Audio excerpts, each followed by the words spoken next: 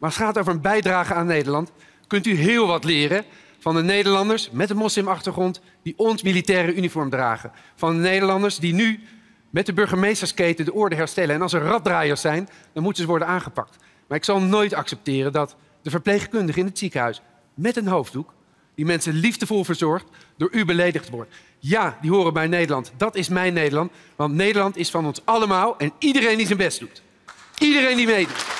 Iedereen die door u beschimpt wordt, Ja. heeft meer fatsoen in zijn pink dan u in uw hele fractie, inclusief Dion Graus. Ja. Dion Graus, kijk eens aan, mijn beste collega.